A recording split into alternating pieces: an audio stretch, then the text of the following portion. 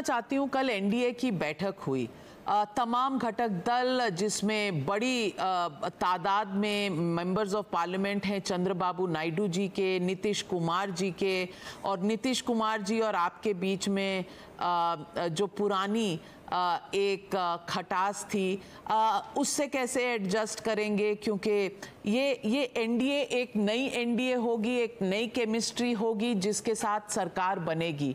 आप अपना role JDU का रोल और जो तमाम सामने आ रही हैं बातें कि कोई तीन पोर्टफोलियो मांग रहा है कोई चार पोर्टफोलियो मांग रहा है चार एमपी पे एक पोर्टफोलियो आपके पाँच हैं तो आपको तो सवा पोर्टफोलियो मिलना चाहिए। तो अ, आपकी क्या मांग रहेगी और एनडीए के बाकी घटक दलों की क्या मांगे हैं? कुछ इस पर बातचीत हुई।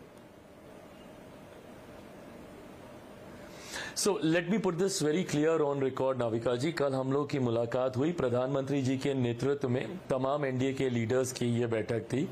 और हर किसी ने एक स्वर में बिना किसी शर्त के प्रधानमंत्री जी के नेतृत्व को स्वीकारा है।